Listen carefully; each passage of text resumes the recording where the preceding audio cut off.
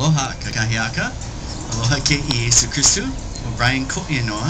Peha oi. Mai ka iao. Mau popo. Do you understand? Should I speak a little louder? Shall I translate? I said good morning. I greet you with the love of Jesus Christ. I'd like to welcome you here to, I think, the most beautiful church in the world, where you can get burned and blessed at the same time. And we have the largest, we boast, we have the largest baptismal in the world, right out here, where we baptize people often. And uh, as Alex said, I've been with the chaplaincy for a long time. And everyone know what Sunday this is? How did you know that? You are smart people, I tell you.